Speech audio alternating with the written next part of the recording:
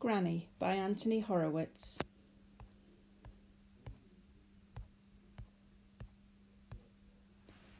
Prologue Heathrow Airport.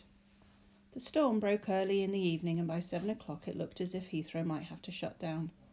Runway 1 had disappeared in the rain. Runway 2 was a canal. Half the planes had been delayed, and the other half were circling hopelessly above the clouds, waiting their turn to land.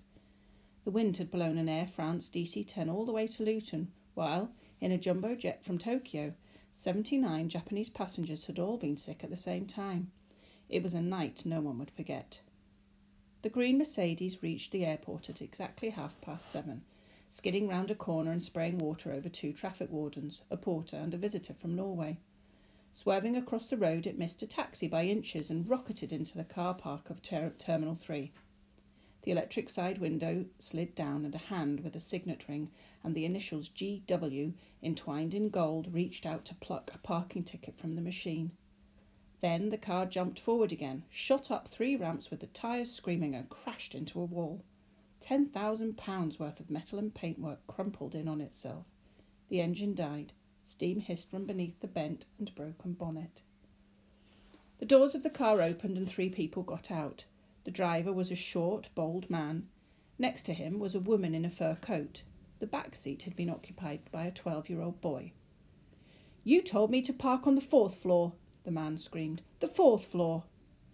Yes, Gordon, the woman muttered. But this car park's only got three floors, the man moaned. He pointed at the wreck of his car. And now look what's happened. Oh, Gordon, the woman's lips quivered. For a moment she looked terrified, then she blinked. Does it really matter? she asked. The man stared at her. You're right, he exclaimed. He laughed out loud. It doesn't matter at all. We're leaving the car here. We'll never see it again. The woman and the man rushed into each other's arms, kissed each other, and then grabbed their luggage, which the boy had meanwhile taken out of the boot. They had only two suitcases be- between them, and these looked as if they had been packed in a hurry. Part of a pink silk tie, a striped pyjama leg, and a frilly shower cap were po- poking out of one side. Come on, the man exclaimed. Let's go. But just then there was a flash of lightning and an explosion of thunder, and the three of them froze alone in the middle of the dimly lit car park. A plane roared past overhead.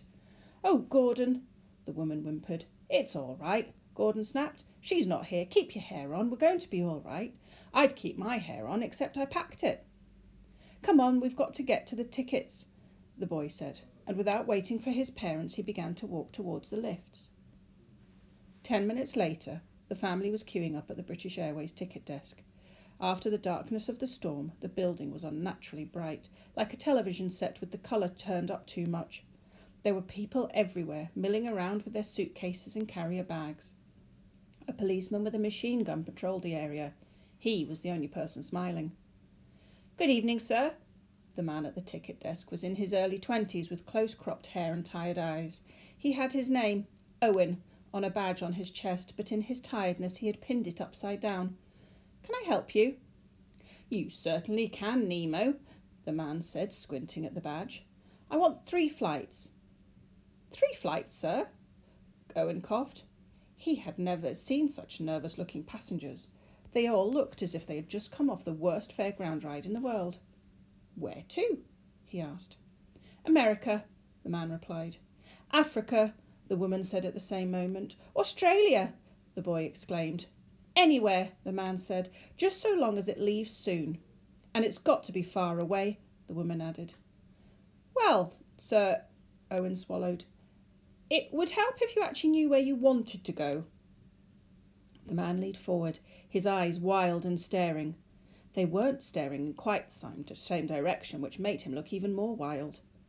His clothes were, were expensive, tailor made, but the ticket salesman couldn't help noticing that he had dressed in a hurry. His tie was crooked and, more surprisingly, on the wrong side of his neck. I just want to go away, the man hissed, before she gets here. The woman burst into tears and tried to hide her face in the mink coat. The boy began to tremble. The ticket seller's eyes flickered to the computer screen in front of him. The computer screen flickered back. How about the nine o'clock flight to Perth? he suggested. Scotland? the man screamed the word so loudly that several passengers turned to look at him and the policeman dropped his machine gun. Australia, the ticket seller said. Perfect, the man exclaimed. He snapped a gold Visa card onto the counter. We'll have two tickets first class and one in tourist for the boy. Ow! The man cried out as his wife's elbow caught him on the side of his head. All right, he said, rubbing a red mark above his eye. We'll all go first class together. Certainly, sir. The ticket seller picked up the credit card. Mr. Gordon Warden. Yes, that's me. And the child's name? Jordan Warden. Jordan Warden, the ticket seller tapped into the name, the name into the computer. And your wife? Maud N. Warden, the woman said. Gordon Warden, Jordan Warden, Morden Warden, right? He tapped some more buttons and waited as the machine spat out three tickets. Check in at desk 11 and it'll be gate 6 for Borden, Mr. Warden. Five hours later, British Airways Flight 777 took off for Perth in Western Australia. As the plane reached the end of the runway and lurched upwards into the swirling night and rain, Gordon Warden and his wife sank back into their first class seats. Mr. Warden began to giggle. We've done it, he said in a quivering voice. We've beaten her. How do you know she's not on the plane? his wife asked. Mr. Warden sat bolt upright. Stewardess, he called, bring me a parachute. Just across